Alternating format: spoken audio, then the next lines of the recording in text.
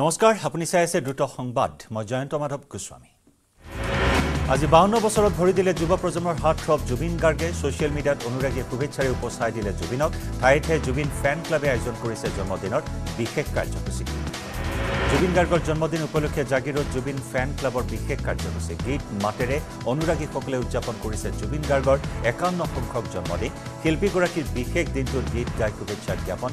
Junior Zubeen খ্যাত য়াদুল আলী শিৱসাগৰত হাৰ্ডথ্ৰপ জুবিন গাৰ্গৰ একাৱন্ন সংখ্যক জন্মদিন উদযাপন অনুৰাগীসকলৰ অনুৰাগীসকলে ভিন্ন কাৰ্যসূচীৰে উদযাপন কৰিছে জুবিন গাৰ্গৰ জন্মদিন। জুবিন গাৰ্গৰ সুস্বাস্থ্য কামনাৰে শিৱদৌলত বন্তি প্ৰজ্বলন অনুৰাগীসকলৰ। মৰাণত হিট এণ্ড ৰান চাৰি কিলোমিটাৰ পৰ্যন্ত এখন বাহনে চোঁচৰাই নিলে এজন লোকক। মুমূৰ্ষু অৱস্থাত লোকজনক উদ্ধাৰ আৰক্ষীৰ ঘটনা চিকিৎসালয়ত মৃত্যু হয় লোকজনৰ নিহত লোকজনৰ পৰিচয় উদ্ধাৰ হোৱা নাই। মৰাণৰ ট্ৰেফিক পইণ্টৰ কাষতে প্ৰথমে এখন ইনোভাই খুন্দিয়াইছিল লোকজনক।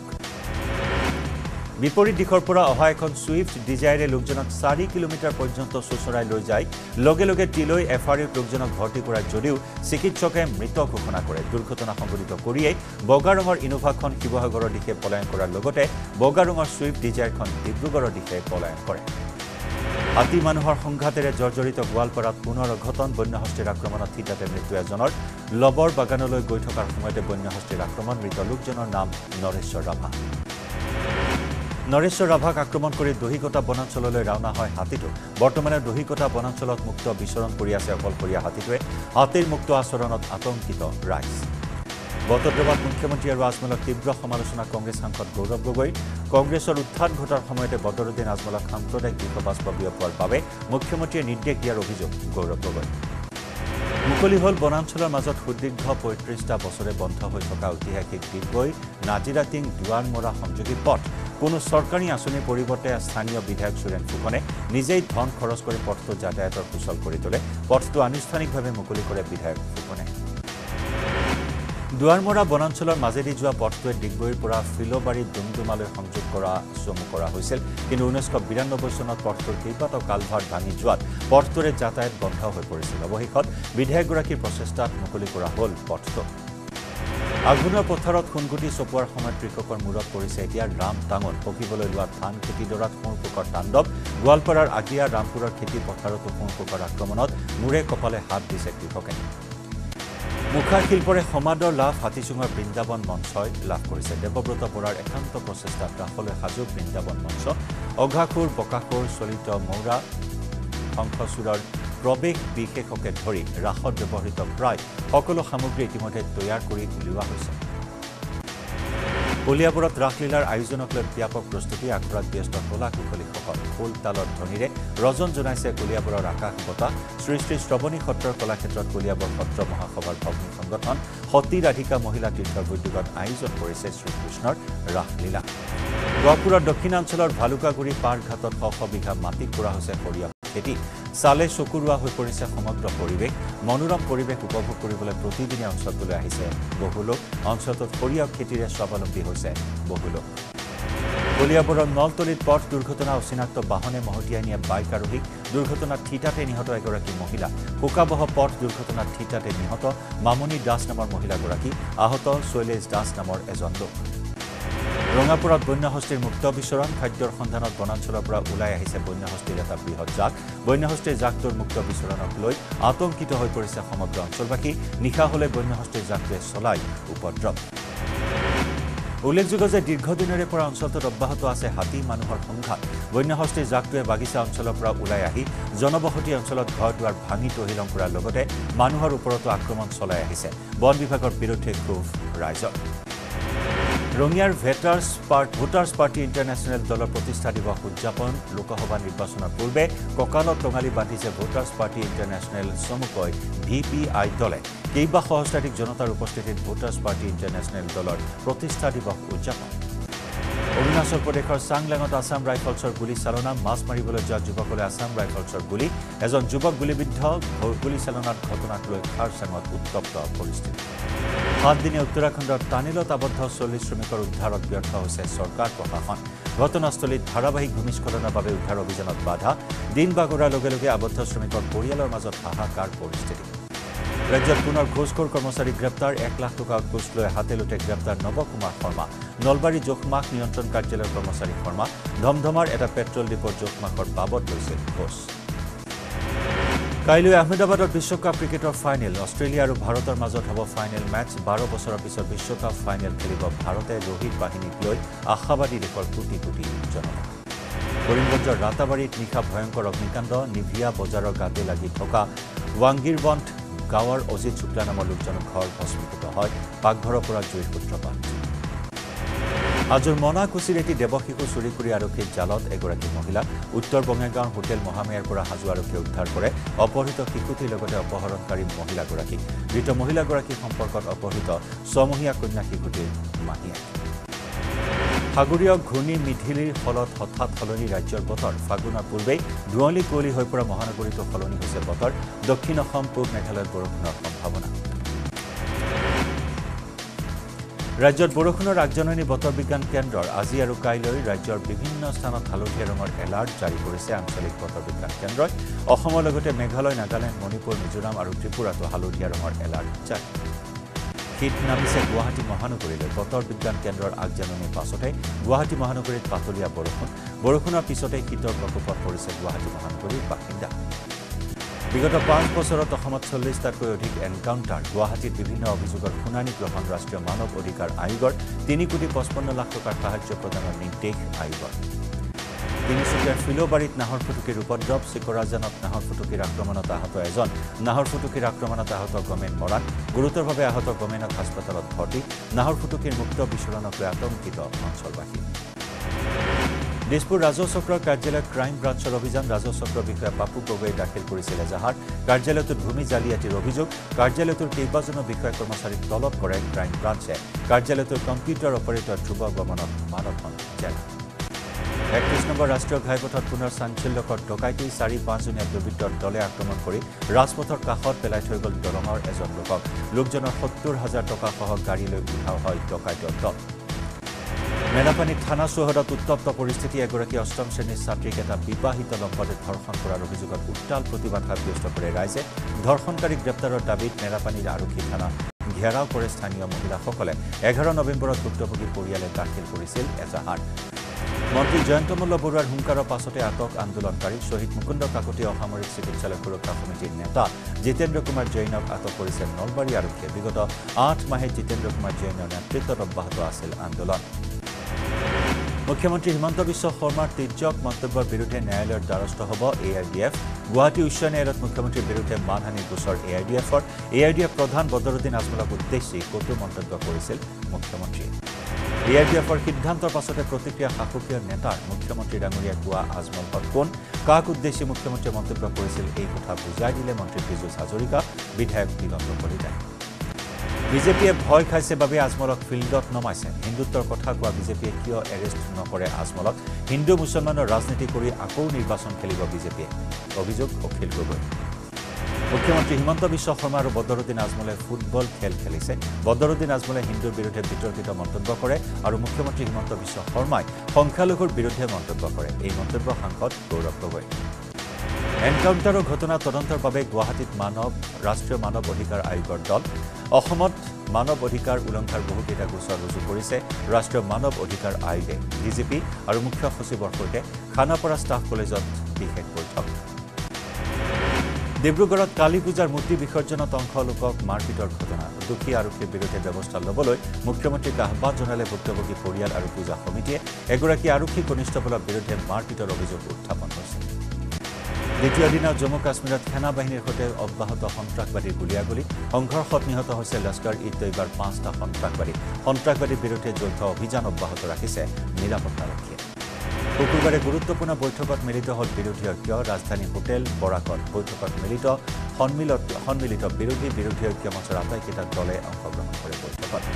চৌবিছৰ লোকসভা নিৰ্বাচনৰ লক্ষ্যৰে এক ডিচেম্বৰত ৰণসিঙা বজাব বিৰোধীয়ে ডিব্ৰুগড়ৰ পৰা বিৰোধী মঞ্চই আৰম্ভ কৰিব নিৰ্বাচনী প্ৰচাৰ।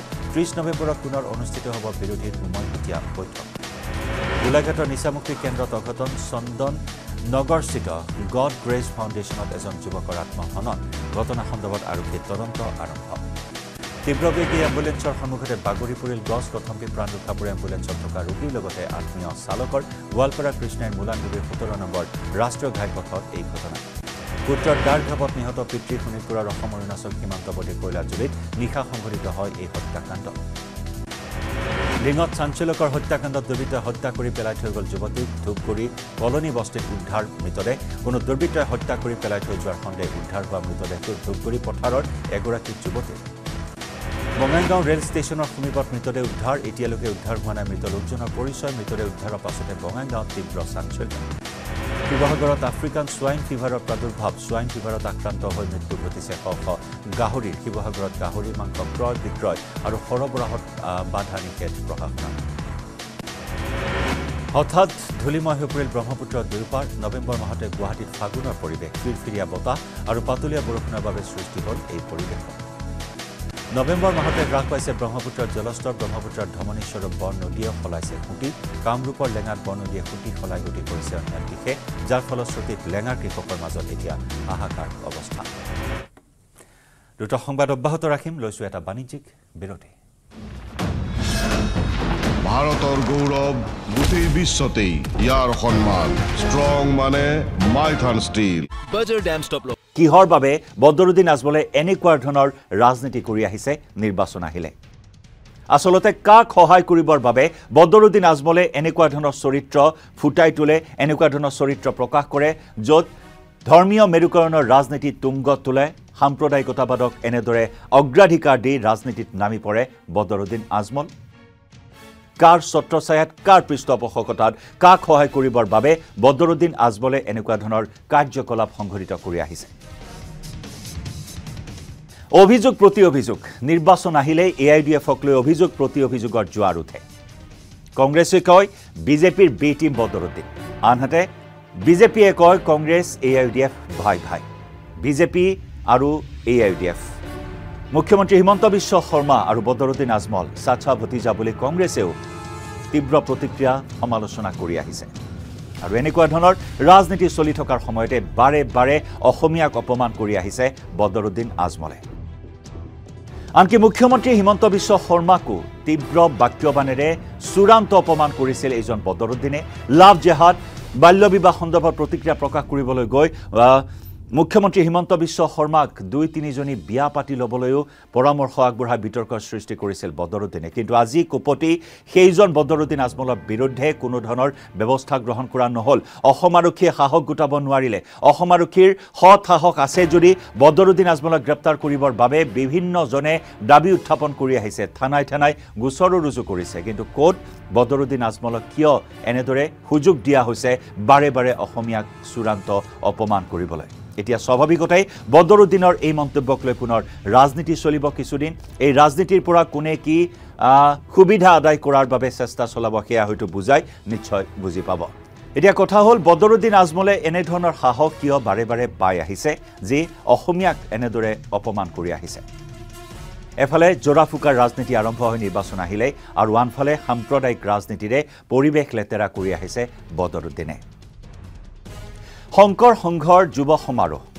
ধূপধৰাত শেহতীয়াকৈ অনুষ্ঠিত হোৱা যুৱ সমাৰোহত অংশগ্ৰহণ কৰিও কিছু প্ৰতিক্ৰিয়াৰ সৃষ্টি কৰিছিল বদৰুদ্দিন আজমলে। আনকি খোদ মুখ্যমন্ত্ৰী হিমন্ত বিশ্ব শৰ্মাই প্ৰতিক্ৰিয়া প্ৰকাশ কৰিছিল আয়োজক সমিতিক কৈছিল যে এনেকুৱা মানুহক মতাটোৱে উচিত নহয়। শংকৰ সংঘৰ অধিৱেশন বা সমাৰোহলৈ গ'লে দুখ লাগে বুলি কৈছিল মুখ্যমন্ত্ৰী হিমন্ত বিশ্ব শৰ্মাই। গতিকে এনেকুৱা ধৰণৰ প্ৰতিক্ৰিয়া চলি আছে অভিযোগ প্ৰতি অভিযোগ চলি আছে বদৰুদ্দিন আজমলক লৈ আৰু যিহেতু এতিয়া চৌব্বিছৰ নিৰ্বাচন সন্মুখত বদৰুদ্দিনে ঘোষণা কৰিছে তিনিখন আসনত প্ৰতিদ্বন্দ্বিতা কৰিব ধুবুৰী নগাঁও আৰু কৰিমগঞ্জ। গতিকে এই তিনিখন আসনত কেনেকুৱা ধৰণৰ সমীকৰণ কেনেকুৱা ধৰণৰ অংক কৰি এনেকুৱা ধৰণৰ সাম্প্ৰদায়িক ৰাজনীতি কৰি আছে বদৰুদ্দিন আজমলে? নিয়া অবিহনে অসম জীয়াই থাকিব নোৱাৰে। আনকি অসমীয়াৰ সংজ্ঞাও আগবঢ়াইছিল বদৰুদ্দিনে। অসম যোগ মিয়া অসমীয়া। এয়া হৈছে অসমীয়াৰ সংজ্ঞা। বদৰুদ্দিন আজমলে আগবঢ়োৱা অসমীয়াৰ সংজ্ঞা। আৰু এই সংজ্ঞাক লৈও তোলপাৰ লাগিছিল ৰাজ্য। বাৰে বাৰে অসমীয়াক টাৰ্গেট কৰি অসম অসমবাসীক চূড়ান্ত অপমান কৰি আহিছে বদৰুদ্দিন আজমলে। অসমীয়াৰ স্বাভিমান এইখন চেলেং চাদৰ এইখন চেলেং চাদৰৰ গৰিমা কেনেকুৱা সেয়া বদৰুদ্দিন আজমলে জানি শুনি এনেকুৱা ধৰণৰ কাণ্ড কিয় বাৰে বাৰে সংঘটিত কৰি আহিছে?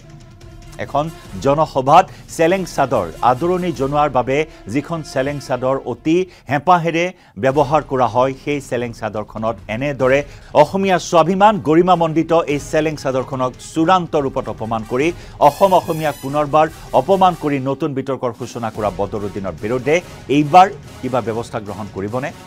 অখিল গগৈ প্ৰশ্ন কৰাৰ দৰে সৎসাহস হ'বনে? অসম আৰক্ষীৰ বদৰুদ্দিনক গ্ৰেপ্তাৰ কৰিবলৈ লক্ষণীয় হ'ব।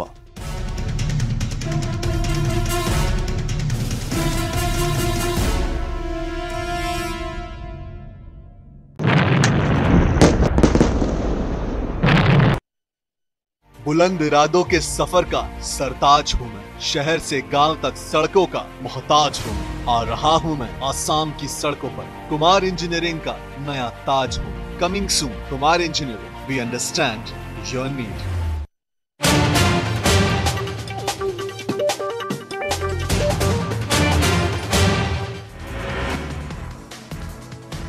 Barpeta ৰোডৰ শিমলাগুৰি আৰক্ষীৰ জালত দুই এ টি এম প্ৰবঞ্চকক গ্ৰেপ্তাৰ। দুই প্ৰবঞ্চকৰ পৰা জব্দ পঁয়ত্ৰিছখন এ টি এম কাৰ্ডসহ দুটা মোবাইল ফোন। শিমলাগুৰি আৰক্ষী পহৰা চকীৰ ভাৰপ্ৰাপ্ত বিষয়া মণিৰাম ডেকাৰ নেতৃত্বত চলিছিল অভিযান। ঐচ্ছিক কম্পিউটাৰ বিষয়ক লৈ বিপদত ৰাজ্যৰ হাজাৰ হাজাৰ দশম শ্ৰেণীৰ শিক্ষাৰ্থী। অক্টোবৰৰ পৰা ৰাজ্যৰ বহু স্কুলত নাই কম্পিউটাৰ শিক্ষক। শিক্ষাভিত্তিক শিক্ষকৰ ম্যাদ উকলি যোৱাত বন্ধ কম্পিউটাৰ শিক্ষা। সদৌ অসম ছাত্ৰ সন্থাৰ অনাগত মৰিগাঁও অধিৱেশনত কাৰ্যকৰী হ'ব। পূৰ্বৰ দুলীয়াজান অধিৱেশনৰ প্ৰস্তাৱ চল্লিছ বছৰ ঊৰ্ধৰ কোনো ব্যক্তিয়েই থাকিব নোৱাৰিব সদৌ অসম ছাত্ৰ সন্থাত মহানগৰীত অব্যাহত নিষিদ্ধ ড্ৰাগছৰ বেহা এছ অ' জি আৰু গড়চুক আৰক্ষীৰ সাতাইছ নম্বৰ ৰাষ্ট্ৰীয় ঘাইপথৰ গড়চুকত অভিযান চলাই গ্ৰেপ্তাৰ কৰে দুই সৰবৰাহকাৰী। বঙাইগাঁৱত আৰক্ষীৰ ড্ৰাগছ বিৰোধী অভিযান উত্তৰ বঙাইগাঁও আৰক্ষীয়ে অভিযান চলাই জব্দ কৰে পঁয়ত্ৰিছটা সন্দেহযুক্ত ড্ৰাগছৰ কণ্টেইনাৰ আটক এটা ড্ৰাগছ সৰবৰাহকাৰী। ড্ৰাগছ সৰবৰাহকাৰীটোৰ নাম আলী হুছেইন। হোজাইত বাইক চোৰক গ্ৰেপ্তাৰ আৰক্ষীৰ ধৃত বাইক চোৰটো বৰপুখুৰী অঞ্চলৰ জিয়াৰুল হক। চোৰটোৰ জিম্মাৰ পৰা উদ্ধাৰ কৰা হয় এখন বাইক। এজন অচিনাক্ত লোকৰ পৰা বাইকখন পোন্ধৰশ টকাত ক্ৰয় কৰা বুলিহে মন্তব্য দিয়ে অভিযুক্ত লোকজনে। গোৱালপাৰা লক্ষীপুৰত বনদস্যুক দপদপনি কাটি তহিলং কৰিলে সোতৰডাল শালগছ আৰক্ষীৰ জালত দুই অভিযুক্ত ধৃত লোক দুজন বুৰুকা চুঙি গাঁৱৰ ৰবিয়াল হক আৰু চাহাজুল হক। ইজৰাইল হামাছৰ যুদ্ধক লৈ প্ৰধানমন্ত্ৰী Narendra Modi voice of global south virtual ছামিটত অংশগ্ৰহণ মোদীৰ ইজৰাইলৰ ওপৰত হামাছৰ আক্ৰমণক গৰিহণা। সাধাৰণ নাগৰিকৰ ওপৰত কৰা হিংসাক গৰিহণা ভাৰতৰ মন্ত্ৰী জয়ন্ত মল্ল বৰুৱাক পুনৰ কটাক্ষ বিধায়ক ৰকিবুল হুছেইনৰ মন্ত্ৰী জয়ন্ত মল্ল বৰুৱাক অহংকাৰী বুলিলে হুছেইনে সংবাদমেলত নিজকে কেবিনেট মন্ত্ৰী বুলি তিনিবাৰ কোৱা বুলি কটাক্ষ কৰে বিধায়কজনে। ডিব্ৰুগড়ত সদৌ অসম আশা কৰ্মী সন্থাৰ প্ৰতিবাদ মাননীৰ বিপৰীতে মজুৰি বৃদ্ধিৰ দাবীত প্ৰতিবাদ ডিব্ৰুগড় জিলা আয়ুক্তৰ কাৰ্যালয়ত মাহে পোন্ধৰ হাজাৰ টকাকৈ মজুৰি বৃদ্ধিৰ দাবী আশা কৰ্মী সন্থাত। এন এইচ এমৰ অন্য কৰ্মচাৰীৰ দৰে আশা কৰ্মীসকলক সমমৰ্যাদা প্ৰদানৰ দাবী উত্থাপন কৰিছে আশা কৰ্মীসকলে মাইক্ৰ' ফাইনেন্সৰ ঋণ মুক্তিৰ দাবীত প্ৰতিবাদমুখৰ বৰপেটা। কৃষক মুক্তি সংগ্ৰাম কমিটিৰ নেতৃত্বত ওলাই আহিল ঋণগ্ৰস্ত লোকসকল। বৰপেটা চহৰৰ মাজেৰে জিলা আয়ুক্তৰ কাৰ্যালয়লৈ সমদল বাহিৰ কৰে প্ৰতিবাদকাৰীসকলে দুহেজাৰ একৈছ চনৰ একত্ৰিছ মাৰ্চলৈ ঋণ ৰেহাই দিয়াৰ দাবীত প্ৰতিবাদ। শিৱসাগৰ পৌৰসভাৰ চাফাই কৰ্মীসকলে উত্তাল প্ৰতিবাদ সাব্যস্ত কৰে। চাফাই কৰ্মীসকলৰ দৰমহা বৃদ্ধি চাফাই কৰ্মীৰ সংখ্যা বৃদ্ধিৰ দাবীত হাতে হাতে ঝাৰুলৈ প্ৰতিবাদ সাব্যস্ত। ৰাম মন্দিৰ আৰু প্ৰধানমন্ত্ৰী নৰেন্দ্ৰ মোদীক লৈ প্ৰতিক্ৰিয়া ৰাম মন্দিৰ নিৰ্মাণ ন্যাসৰ কাৰ্যকৰী সভাপতি দৌৰাম বিলাস বেদান্তী মহাৰাজত দুহেজাৰ চৌব্বিছত পুনৰ মোদীৰ নেতৃত্বতে চৰকাৰ গঠন হ'ব বুলি ভৱিষ্যতবাণী কৰিলে প্ৰাক্তন সাংসদজনে। হামাছ ইজৰাইল যুদ্ধৰ প্ৰভাৱ পৰিছে ৰাজ্যৰ চাহ উদ্যোগত। বিদেশলৈ ৰপ্তানি হ্ৰাস পাইছে চাহৰ বৰষুণৰ পৰিমাণ হ্ৰাস পোৱাৰ বাবেও চিন্তিত ক্ষুদ্ৰ চাহ খেতিয়কসকল। প্ৰখ্যাত ছবি পৰিচালক হেমেন দাসৰ দেহাৱসান মৃত্যুৰ সময়ত তেওঁৰ বয়স হৈছিল সাতসত্তৰ বছৰ। দীৰ্ঘদিন ধৰি অসুস্থতাত ভুগি আছিল হেমেন দাস। একত্ৰীকৰণৰ দিশে ছেবা আৰু অসম উচ্চতৰ মাধ্যমিক শিক্ষা সংকট নতুনকৈ Assam state school education board গঠনৰ সিদ্ধান্ত কেবিনেটৰ পাঁচ ফেব্ৰুৱাৰীৰ পৰা অসম বিধানসভাৰ বাজেট অধিৱেশন। ইফালে ছেবা আৰু অসম উচ্চতৰ মাধ্যমিক শিক্ষা সংসদৰ একত্ৰীকৰণক লৈ প্ৰতিক্ৰিয়া প্ৰকাশ কৰি শিক্ষামন্ত্ৰী ডাঃ ৰমেশ পেগুৱে অসম ৰাজ্যিক বিদ্যালয় শিক্ষা পৰিষদ কেনেদৰে পৰিচালনা হ'ব সেই সন্দৰ্ভত মন্তব্য আগবঢ়ালে শিক্ষামন্ত্ৰীগৰাকী। আলি আই লৃগাঙত থাকিব চৰকাৰী বন্ধ দহখন জিলাত প্ৰযোজ্য হ'ব চৰকাৰী বন্ধ। জিলাকেইখন হৈছে ধেমাজি লখিমপুৰ বিশ্বনাথ শোণিতপুৰ গোলাঘাট যোৰহাট শিৱসাগৰ ডিব্ৰুগড় ধেমাজি আৰু তিনিচুকীয়া। প্ৰতি মাহৰ এক তাৰিখৰ পৰা দহ তাৰিখৰ ভিতৰত বিতৰণ কৰিব লাগিব চৰকাৰী চাউল। চৰকাৰী নিয়ম মানি সুলভ মূল্যৰ দোকানীয়ে বিতৰণ কৰিব লাগিব ৰেচনৰ চাউল। তিনি হাজাৰ পাঁচশ ছয়সত্তৰটা খিলঞ্জীয়া ভূমিহীন পৰিয়ালে শীঘ্ৰেই লাভ কৰিব ভূমিপট্টা। দহখন জিলাত তিনি হাজাৰ পাঁচশ ছয়সত্তৰটা পৰিয়ালক ভূমিপট্টা প্ৰদানৰ সিদ্ধান্ত লৈছে ৰাজ্যিক কেবিনেটে। ৰাস কমিটিসমূহলৈ আৰ্থিক অনুদানৰ সিদ্ধান্ত গ্ৰহণ কৰিছে চৰকাৰে। তিনি বছৰ পুৰণি পঞ্জীয়নভুক্ত ৰাস কমিটিসমূহে লাভ কৰিব আৰ্থিক অনুদান। ঊনৈছশখন ৰাস সমিতিয়ে লাভ কৰিব পঁচিছ হাজাৰ কোটি টকা। চামগুৰিত পুৱতি নিশা ভয়ংকৰ পথ দুৰ্ঘটনা নিয়ন্ত্ৰণ হেৰুৱাই দ খাৱৈত বাগৰি নৈশ বাছ। দুৰ্ঘটনাত গুৰুতৰভাৱে আহত পাঁচজন যাত্ৰী। বাছখনত আছিল মুঠ পঁচিছজন যাত্ৰী। দুৰ্ঘটনাত অন্য যাত্ৰীসকলো কম বেছি পৰিমাণে আহত। গুৱাহাটীৰ সঞ্জীৱনী হাস্পতালত আয়কৰ বিভাগৰ অভিযান। হাস্পতালৰ আয়ক লৈ চলিল অভিযান। অভিযানত আয়কৰ বিভাগে জব্দ কৰিছে বহু নথি পত্ৰ। নিশালৈকে চলিল আয়কৰৰ অভিযান। হাস্পতালৰ সঞ্চালক ভৱেন চৌধুৰীৰ ঘৰতো চলিব পাৰে অভিযান। গোলাঘাটৰ খুমটাইৰ আৱৰা ঘাটত বন্যহস্তীৰ উপদ্ৰৱ। বন্যহস্তীৰ বিনিদ্ৰ ৰজনী কটাইছে। গোলাগুৰি আৱৰঘাটৰ গঞা ৰাইজে। ধনচিৰি নদী পাৰ হৈ জনাঞ্চলত উপদ্ৰৱ চলাইছে বন্যহস্তী। কামৰূপ জিলা ছাত্ৰ সন্থাৰ সভাপতি হিচাপে নিৰ্বাচিত নৱজ্যোতি দাস। নৱজ্যোতিক লৈ নিশা হাজো আঞ্চলিক ছাত্ৰ সন্থাৰ বিজয় উল্লাস কাৰ্যসূচী বিজনীৰ উত্তৰ অঞ্চলত বন্যহস্তীৰ উপদ্ৰৱ বন্যহস্তীয়ে বিস্তৰ ক্ষতি সাধন কৰিছে কুঁহিয়া ৰাইজৰ হাতীয়ে ঠাই তহিলং কৰিলে কলৰ বাগান। মহানগৰীত এঘাৰ কোটি টকাৰ হেৰইন জব্দ এখন টাটা ডিআই বাহনৰ পৰা জব্দ কৰা হয় হেৰইন আন্তঃৰাষ্ট্ৰীয় ক্ৰীড়া প্ৰতিযোগিতাত উজলি উঠিল ৰহাৰ বাৰপুজীয়াৰ এগৰাকী মহিলা ফিলিপিনছত অলপতে অনুষ্ঠিত হোৱা master athletics international games two thousand twenty থ্ৰীত ভাৰতৰ হৈ প্ৰতিনিধিত্ব কৰি দল প্ৰতিযোগিতাত অংশগ্ৰহণ কৰা বত্ৰিছ বছৰীয়া মহিলা প্ৰমীলা দাসে লাভ কৰে ব্ৰঞ্জৰ পদক। ৰাষ্ট্ৰীয় ক্ৰীড়াত পুনৰ জিলিকিল অসম সন্তান গোৱাত অনুষ্ঠিত সাতত্ৰিছ সংখ্যক ৰাষ্ট্ৰীয় গেমছত আৰ্চাৰীত সোণৰ পদক লাভ কৰে বাক্সাৰ বৰমাৰ যুৱ খেলুৱৈ ঋতুমণি স্বৰ্গীয়াৰীয়ে। চমনৰ পাছতো শুকুৰবাৰে আদালতত হাজিৰ নহল Prateek Hajela N R C কেলেংকাৰী সন্দৰ্ভত আদালতত হাজিৰ হোৱাৰ নিৰ্দেশ দিছিল কামৰূপ মহানগৰ অতিৰিক্ত জিলা আৰু সত্ৰ ন্যায়াধীশৰ আদালতে। কামাখ্যাত ভয়ংকৰ অগ্নিকাণ্ড মন্দিৰৰ পাৰ্কিঙৰ ওচৰত অগ্নিকাণ্ড পাঁচখনকৈ দোকানত অগ্নিকাণ্ড পঞ্জাৱ নেশ্যনেল বেংকৰ এ টি এমতো জুই কোকৰাঝাৰত কোনেও ৰুধিব নোৱাৰে Nabakumar শৰণীয়াক। BJP U P P L ফেক্টৰে নহয় বুলি কুমাৰ হীৰা কুমাৰ শৰণীয়াই দাবী কৰে। নৱকুমাৰ শৰণীয়াই দাবী কৰে। পৰেশ বৰুৱাক মূল খুঁটিলৈ আহ্বান জনালে কোকৰাঝাৰৰ সাংসদ নৱকুমাৰ শৰণীয়াই। আলফা স্বাধীনক আলোচনাৰ মাজেৰে সমস্যা সমাধানৰ আহ্বান প্ৰাক্তন আলফা নেতাজনৰ। ৰাজনীতিলৈ যাব বিচৰা আলোচনাপন্থী আলফা নেতাকো শুভেচ্ছা জ্ঞাপন কৰিলে সাংসদ নৱকুমাৰ শৰণীয়াই। লোকসভা নিৰ্বাচনত লৈ তৎপৰ শাসকীয় বিজেপি ওঠৰ নৱেম্বৰত গোসাইগাঁও বিধানসভা সমষ্টিৰ কাছিয়াবাৰী আৰনাই খেলপথাৰত বিজেপিৰ জনসভা। উত্তৰ প্ৰদেশৰ লক্ষ্ণৌত নাবালকক অপহৰণৰ পাছত দলবদ্ধ ধৰ্ষণ চাৰি দম্পতে সংঘটিত কৰে এই জঘন্য কাণ্ড। স্বদেশলৈ উভতাৰ ভয় ম্যানমাৰ শৰণাৰ্থী তীব্ৰ আতংকত ভুগিছে মিজোৰামত আশ্ৰয় লোৱা শৰণাৰ্থীসকলে। গৃহযুদ্ধত বিধ্বস্ত দেশখনৰ পৰা প্ৰাণৰ মমতাত পলায়ন কৰিছিল বহু লোকে। মিজোৰামৰ চাম্ফাই জিলাত আশ্ৰয় গ্ৰহণ কৰিছে বহু শৰণাৰ্থীয়ে নলবাৰী ৰাস মহোৎসৱৰ প্ৰস্তুতি তুংগত ৰাসস্থলীত চলিছে জীৱন্ত ৰাস আৰু ভাওনা প্ৰশিক্ষণ। স্থানীয় যুৱক যুৱতীৰ দ্বাৰা অনুষ্ঠিত হ'ব জীৱন্ত ৰাস। ছাব্বিছ নৱেম্বৰৰ পৰা তেৰ দিনীয়াকৈ অনুষ্ঠিত হ'ব নলবাৰীৰ হৰি মন্দিৰৰ ৰাস মহোৎসৱ। বাইহাটা চাৰিআলিৰ সমীপৱৰ্তী পুথিমাৰীতো চলিছে মৃন্ময়মতী ৰাসৰ প্ৰস্তুতি। একচল্লিছ সংখ্যক বৰ্ষত নদিনীয়া বৰ্ণাঢ্য কাৰ্যসূচীৰে অনুষ্ঠিত হ'ব ৰাস মহোৎসৱ। কৰ্মেৰে পৰিচয় দিছে গহপুৰৰ এগৰাকী মহিলাই ই ৰিক্সা চলাই পোহপাল দিছে পৰিয়াল। পাঠ্যপুথিৰ শিক্ষাৰ লগতে প্ৰেক্টিকেল শিক্ষাৰ ক্ষেত্ৰত গুৰুত্ব নুমলি কৰাৰ এখন চৰকাৰী বিদ্যালয়ৰ ছাত্ৰ ছাত্ৰীৰ বিদ্যালয়ৰ অটল টেংকাৰিং লেবত উদ্ভাৱন কৰিছে ন ন অত্যাধুনিক যন্ত্ৰ। নলবাৰী জিলা আয়ুক্তৰ কাৰ্যালয়ত উখল মাখল পৰিৱেশ বেটী বচাও বেটী পঢ়াও আঁচনিৰ অধীনত নলবাৰী জিলা প্ৰশাসনৰ অভিনৱ পদক্ষেপ। অহা তেইছ নৱেম্বৰত একেলগে নলবাৰী হৰি মন্দিৰত হ'ব দহখন বিয়া মহানগৰীৰ নাৰেংগীত হেঙুল থিয়েটাৰৰ দ্বিতীয় দিনা প্ৰদৰ্শিত চকু নাটকলৈ ৰাইজৰ বিপুল সঁহাৰি। দুটাকৈ দৰ্শনীত প্ৰদৰ্শিত হ'ল একেখন নাট।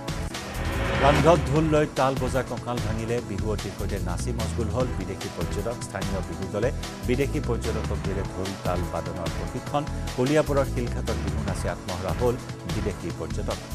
মৌ পালনেৰে অৰ্থনৈতিক বিপ্লৱৰ সূচনা কৰিছে ভাৰত ভূটান সীমান্তৰ দুই নম্বৰ শুকলাই গাঁৱৰ মহেশ চমুৱাই। অসমৰ বিভিন্ন প্ৰান্তত মৌৰ বাঁহ আৰু মাটি যোগান ধৰি আহিছে মহেশ চমুৱাই। মহানগৰীৰ দীপৰ বিলত rising sun water fest revisiting Saraighat দুহেজাৰ তেইছ জলক্ৰীড়া অনুষ্ঠানৰ অংশ হিচাপে দীপৰ বিলত মুকলি কৰা হয় কাৰ্যসূচী।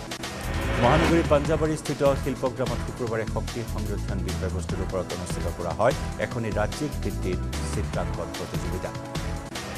গুৱাহাটীত অটল পেঞ্চন যোজনাৰ প্ৰতিনিধিৰ সন্মিলন জি এম চি এইচৰ প্ৰেক্ষাগৃহত অনুষ্ঠিত হয়। কেন্দ্ৰীয় চৰকাৰৰ অটল পেঞ্চন যোজনাৰ বিষয়ববীয়া সন্মিলন ষ্টেট বেংক অৱ ইণ্ডিয়াৰ প্ৰত্যক্ষ সহযোগত আয়োজন।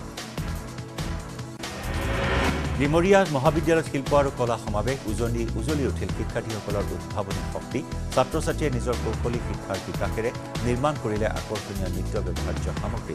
ডিমৰীয়া মহাবিদ্যালয়ৰ আৰ্ট এণ্ড ক্ৰাফ্ট ক্লাবৰ ব্যৱস্থাপনাত আয়োজিত হয় এই অনুষ্ঠান। উত্তৰ কামৰূপৰ অগ্ৰণী উচ্চ শিক্ষাৰ অনুষ্ঠান পূব কামৰূপ মহাবিদ্যালয়ে অতিক্ৰম কৰিলে। পঞ্চাছটা বসন্ত শুক্ৰবাৰে অনুষ্ঠিত হয় সোণালী জয়ন্তী বৰ্ষৰ সামৰণি বোকাজানত বৃহৎ পৰিমাণৰ বাৰ্মিজ চুপাৰী জব্দ সোতৰ কুইণ্টেল বাৰ্মিজ চুপাৰী ভৰ্তি ট্ৰাক জব্দ আৰক্ষীৰ খাগৰাজানত আৰক্ষীৰ তালাচীত জব্দ চোৰাং চুপাৰী আৰু এয়া আছিল দ্ৰুত সংবাদ নমস্কাৰ